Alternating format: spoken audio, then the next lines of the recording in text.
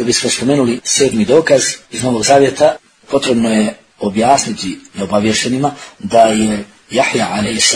veliki poslanik iz islamske historije u kršćanskoj historiji spomenut pod imenom Ivan ili Jovan Krstitelj. Da nas se bi zbunjivala ova riječ krstitelj i otkuda vjerovjesnik Islama, jedan iz niza vjerovjesnika poslanika, bude prozvan krstiteljem, napominjemo da ovo nema veze sa krstom, sa križom kao simbolom. Na engleskom jeziku ga zovu John the Baptist ili John the Baptizer, odnosno onaj koji krsti.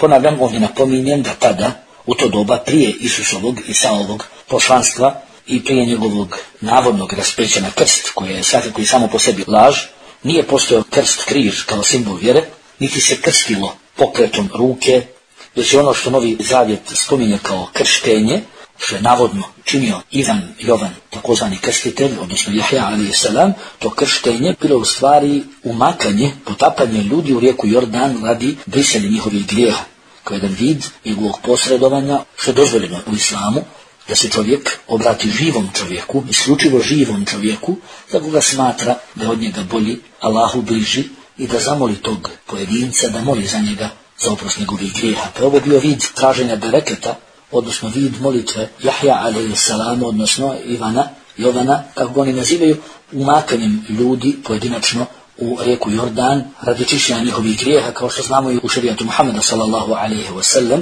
uzimanjem abdesta se osim ritualne, obredne čistoće postiže čišćenje od grijeha. Čišćenje od grijeha jer svakom kapi vode otpadaju grijesi sa tijela sina Adamovog čovjeka. To je uglavnom činio Jovan, Ivan, takozvani krstitelj Jahja alaih salam, okupio ljudi, kvasio ih, umakao ih u vodu rijeke Jordan radi brisanja njihovih grijeha, što je značilo i vid pokajanja tih ljudi od počinjenja novog života u pobožnosti i pokornosti Bogu. U Bibliji stoji da je, kada je Jahja alaih salam, odnosno Ivan ili Jovan, otpočeo svoje pozivanje ljudi, da su jevreji iz Jerusalima, iz Kudca, poslali sveštenike da ga zapitaju ko je on.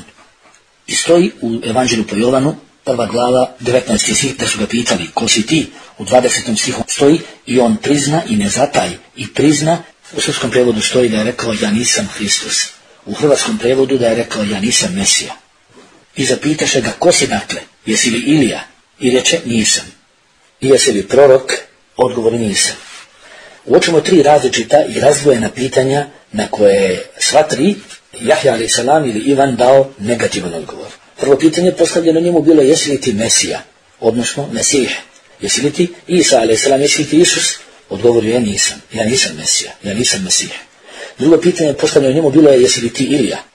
Poznato je u, židovskoj teologiji da su jevreji toga vremena imali paralelno proročanstvo da prije dolaska Mesiha treba prvo doći Ilija.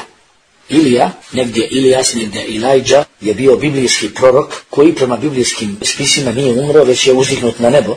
Pa su jevreji vjerovali da se on treba vratiti na zemlju, pa su zato pitali Ivana, odnosno Jahja ali salama, jesi li ti Mesih, jesi li ti Ilija. Pa on negirao obje te mogućnosti. I onda njegov također negativni odgovor na treće, posljednje pitanje postavljeno njemu, jesi li ti prorok, odnosno poslanik. Rekao je, nisam. Subhanallah, kako je moguće da je Jahja a.s.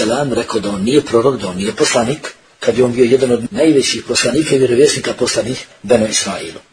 U Novom Zavjetu, u Evanđelju po Matiju 11. glava 11. stih, stoji da je Isa a.s. Isus rekao, zaista kažem vam, između rođenih od žena nije ustao veći od Ivana Krstitelja. Pa kako je moguće da on kaže za sebe da nije poslanik, da nije vjerovjesnik, da nije prorok? To je moguće zato što je on znao da pitanje u stvari glasi jesi li ti onaj, odnosno jesi li ti onaj ili očekivani poslanik. U prevodima na engleski jezik stoji are you the prophet ili are you that prophet. Jesi li ti onaj poslanik, jesi li ti taj poslanik.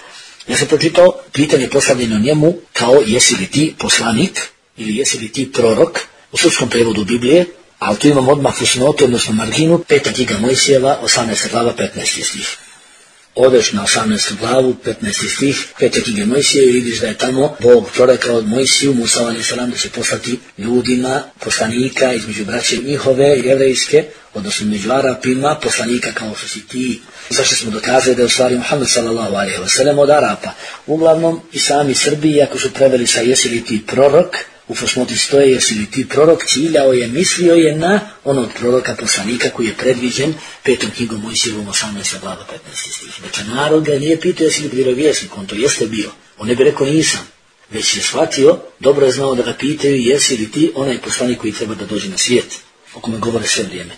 A u hrvatskom prevodu Biblije, naša kuća kršćanska sadašnjost, ne stoji samo jesi li ti prorok, već kažu jesi li ti u zagradi očekivani prorok.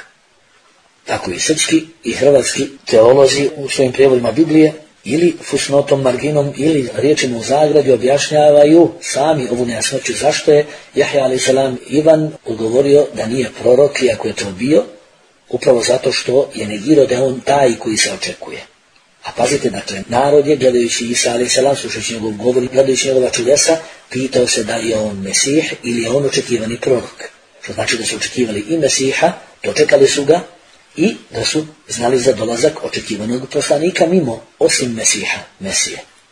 Također u ovom pasusu pitaju Ivana, jesi li ti Ilija, jesi li ti Mesih, Isus, jesi li ti očekivani prorok.